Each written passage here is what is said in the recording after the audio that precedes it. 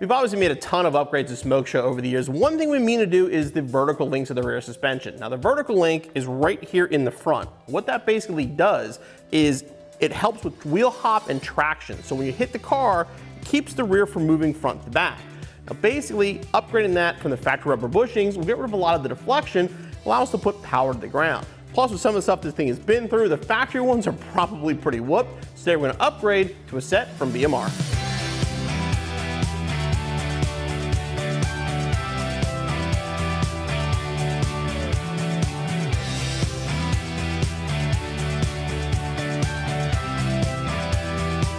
So the factory vertical link, start with the lower bolt here.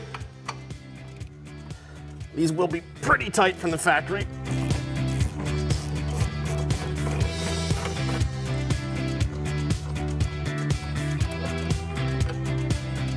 Now we can move the upper.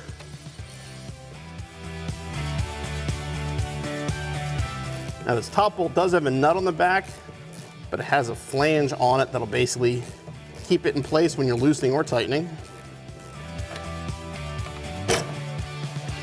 Stock one can be a little tricky to remove. Usually a small pry bar, get it released.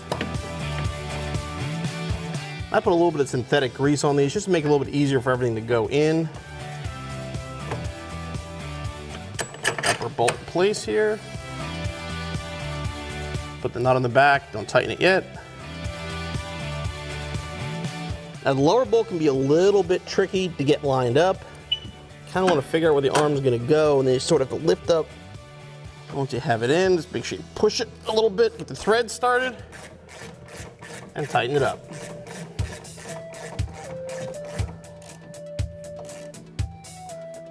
Now tighten up the top.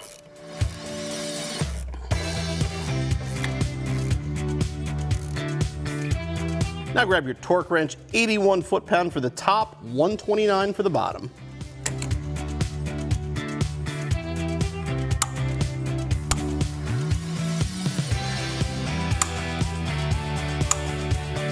Then repeat the process on the other side.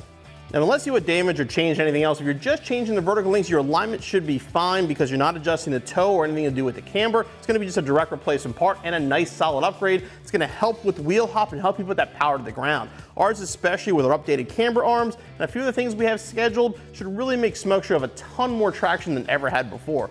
As far as installation goes, give yourself about an hour to an hour and a half. Be back on the road in no time.